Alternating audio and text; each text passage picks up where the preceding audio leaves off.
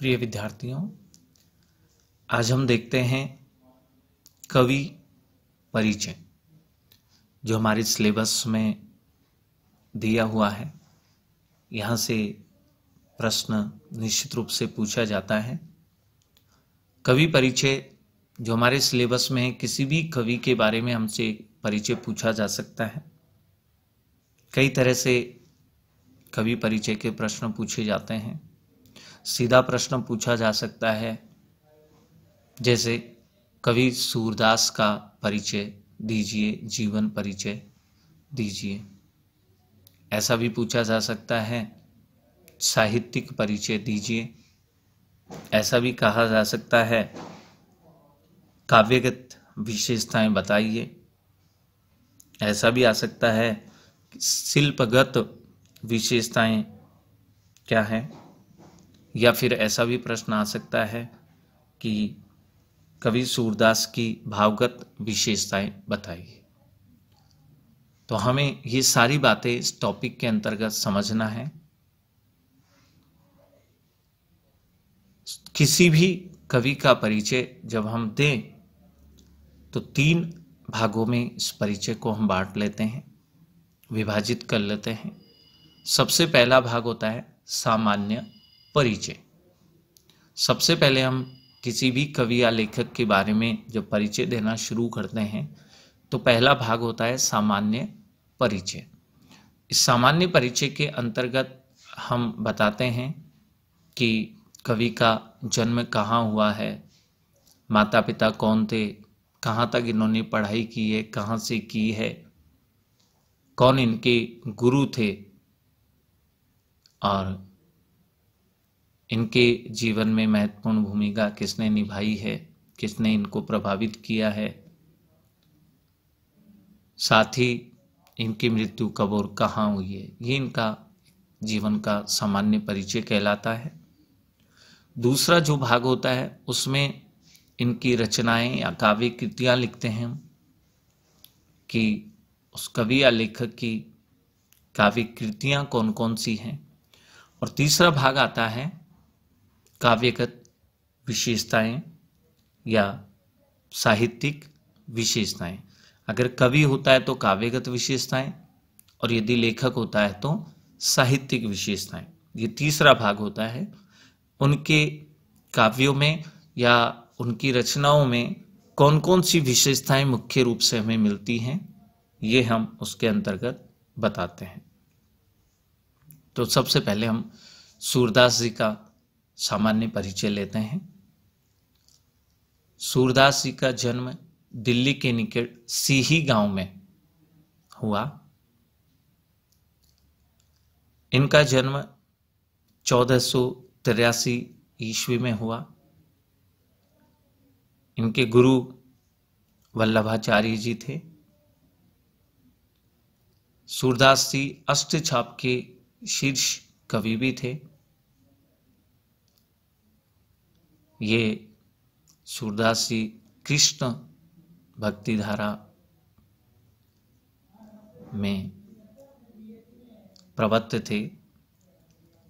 कृष्ण भक्ति धारा के एक महत्वपूर्ण कवि थे।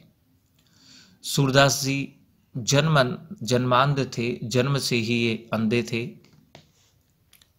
और उनकी मृत्यु पंद्रह सौ तिरसठ ईस्वी में हुई। ये इनके जीवन की मुख्य बातें थी। सूरदास नाम ध्यान रह जाएगा। सीही गाँव से से से का संबंध जोड़ लेंगे। सीही गाँव में इनका जन्म हो गया था। कृष्ण भक्ति धारा से संबंधित कवि हैं। वल्लभाचार्य जी गुरु का नाम है। अष्टछाप के शीर्ष कवि रहे हैं।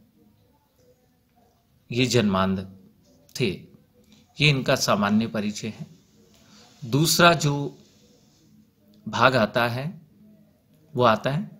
रचनाएँ या काव्य कृतियाँ इनकी काव्य कृतियाँ कौन कौन सी हैं? तो सूरदास जी के बारे में है सूर सागर इनका सबसे महत्वपूर्ण रचना है, ग्रंथ है, कृति है। सूर सागर सूर सारावली साहित्य लहरी से से हम संबंध जोड़ देंगे। सूरदास तो उससे रचनाएँ भी याद आ जाएगी। सूर सागर सूर सारावली और साहित्य लहरी स से शुरू होने वाली इनकी रचनाएँ हैं और इनका नाम भी स से ही शुरू होता है। तो इनकी रचनाएँ या काव्य कृतियाँ दूसरा भाग है। फिर परिचय का तीसरा भाग होता है काव्यगत विशेषताएँ। अगर हमसे काव्यगत विशेषताएँ पूछी जाती है तो काव्य में दो तरह की विशेषताएँ होती है। एक होती है शिल्पगत विशेषताएँ, अर्थात व्याकरण संबंधी विशेषताएँ। कौन सी शैली है, कौन सी भाषा है, कौन से अलंकारों का प्रयोग करते हैं, कौन से रस से संबंधित रचनाएँ हैं। बहुत सारी व्याकरण संबंधी बातें शिल्पगत विशेषताओं में लिखी जाती हैं। फिर दूसरा भाग होता है भावगत विशेषताएँ। कि अपने इन कृतियों, इन रचनाओं के माध्यम से इन्होंने क्या संदेश देना चाहा है? किस चीज़ का वर्णन किया है? मुख्य रूप से लोगों को, जनता को, समाज को किसके लिए इन्होंने प्रेरित किया है? ये भावगत विशेषताओं में हम लिखेंगे।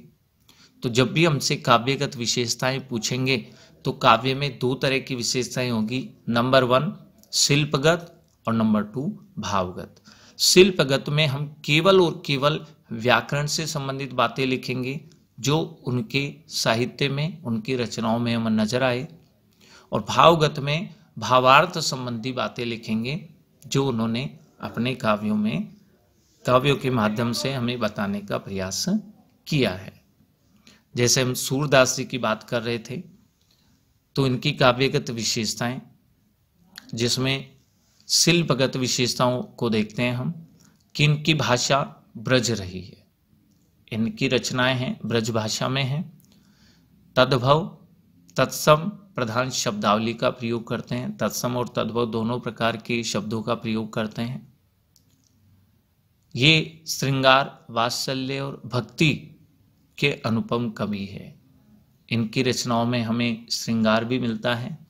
वात्सल्य और भक्ति रस, तीनों ही रस से संबंधित रचनाएँ इनकी मिलती हैं। इनकी रचनाओं में अनुप्रास और उपमा, अलंकार अधिक प्रयोग किया गया है। इन दो अलंकारों का ये ज़्यादा प्रयोग अपनी रचनाओं में करते हैं। ये व्याकरण संबंधी बातें हैं, इनको हम शिल्पगत विशेषताएँ कहते हैं।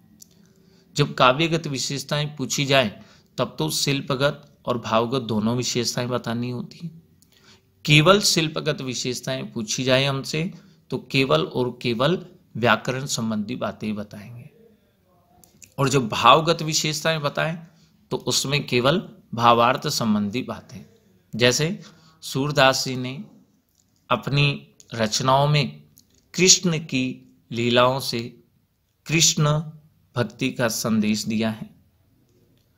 लोक रंजन, लोगों को इसके लिए प्रेरित किया है। गुरु महिमा का प्रतिपादन किया है। गुरु महिमा को भी अपने काव्यों में स्थान दिया है, वर्णन किया है। भ्रमर गीत प्रसंग के माध्यम से इन्होंने निर्गुण भक्ति पर सगुण भक्ति की श्रेष्ठता को सिद्ध किया है, कि वास्तव में निर्गुण की बजाय सगुण भक्ति ही श्रेष्ठ है। भ्रमर गीत प्रसंग में इन्होंने बताया है। यहाँ भ्रमर गीत प्रसंग में भ्रमर उद्धव जी को कहा गया है और गोपियों को जो संदेश देने आए हैं निर्गुण भक्ति का, गोपियाँ उसे अस्वीकार करती हैं, जिससे निर्गुण पर सगुण की श्रेष्ठता सिद्ध हो जाती है। तो हम ये विशेष बात का ध्यान रखेंगे। जब हमें किसी भी कवि या लेखक का परिचय पूछा जाए, जीवन परिचय पूछा जाए, तब हम तीनों ही भागों का वर्णन करेंगे। सामान्य परिचय, रचनाएँ और फिर काव्यगत या साहित्यिक विशेषताएँ। जब हमसे शिल्पगत विशेषता पूछी जाए तो केवल व्याकरण वाली बातें, जो उनके काव्य में नज़र आती है। जब भावगत विशेषताएँ पूछी जाए हमसे तो केवल उसमें भावार्थ संबंधी बातें, संदेश, शिक्षा, जो भी वो देना चाह, चाहा है उन्होंने अपने काव्य के माध्यम से वो लिखेंगे। और जब काव्यगत विशेषता पूछे या साहित्यिक विशेषता पूछें तो हम दोनों ही बातें लिखेंगे, उसमें शिल्पगत भी आएगी और भावगत भी आएगी।